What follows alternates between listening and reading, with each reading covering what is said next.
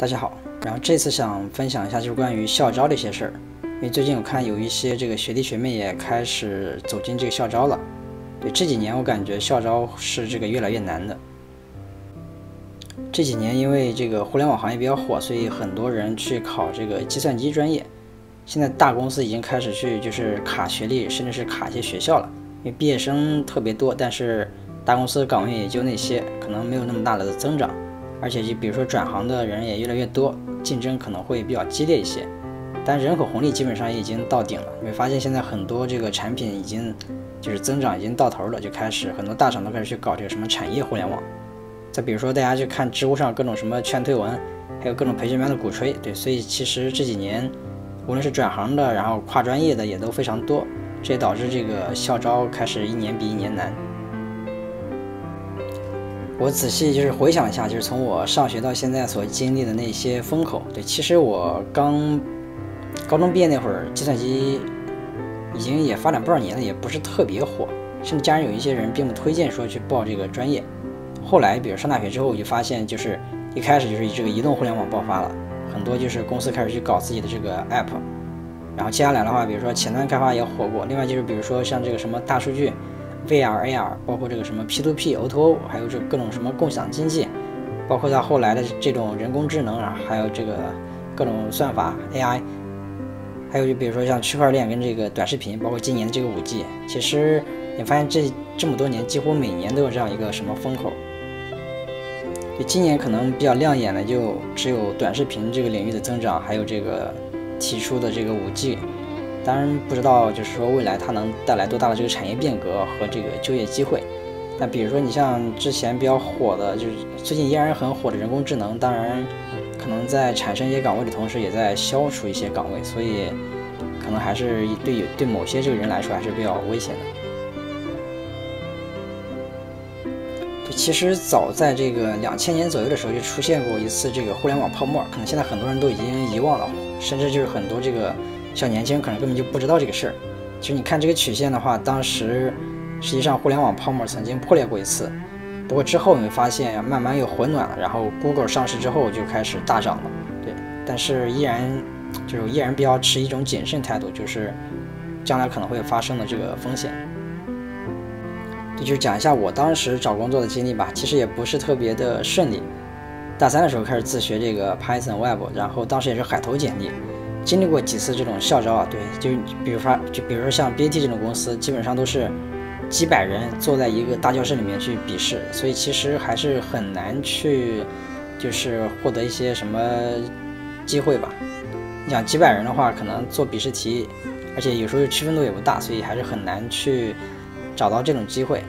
就是后来就找了一家小公司嘛，就是当时喊着什么万众创业，就去了中关村的一个创业小公司。对，后来积累了几年之后，就找工作就相对好一些了，因为也认识不少这个同事在各个公司，所以基本上就是无论是这个内推的机会，还是就是无论是认识一些猎头，所以找工作的话就要轻松很多。当然，这个轻松不是说面试会轻松，就是说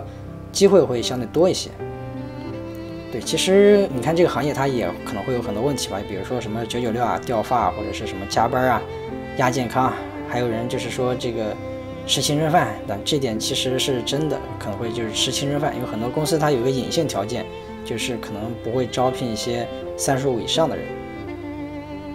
就这个其实是给一些可能一开始就是进不了大公司的人一些参考吧，就是比如说一开始因为学历啊或者是学校可能去不了大公司，但是基本上你如果一直在好好的在公司里面磨练几年，基本上还是以后还是有机会的。所以这是给大家一个参考。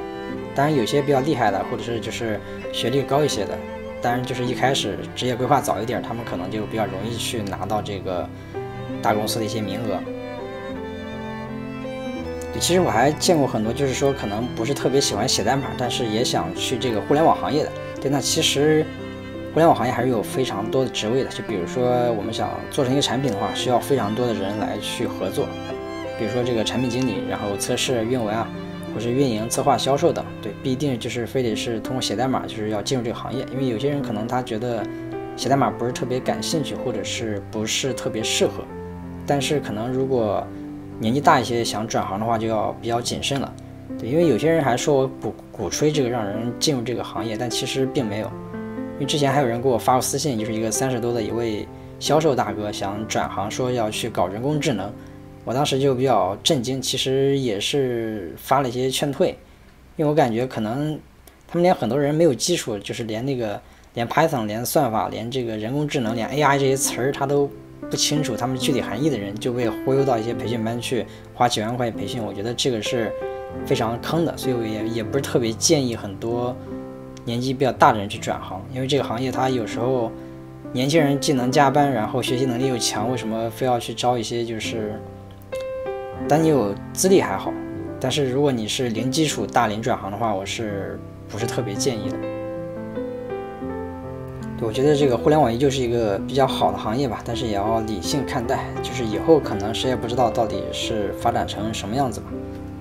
其实这个王兴曾经说过，这个二零一九年可能会是过去十年最差的一年，也是未来十年最好的一年。所以对于未来还是保持一种比较谨慎的一个态度。对我个人基本上是既不劝进也不劝退。就如果你真的有兴趣的话，我相信你是可以坚持下来的。也希望大家就是都能找到自己满意的工作吧。如果一开始可能不满意的话，我们也可以不断的去在公司里面磨练几年，最终可以找到自己理想的一个工作。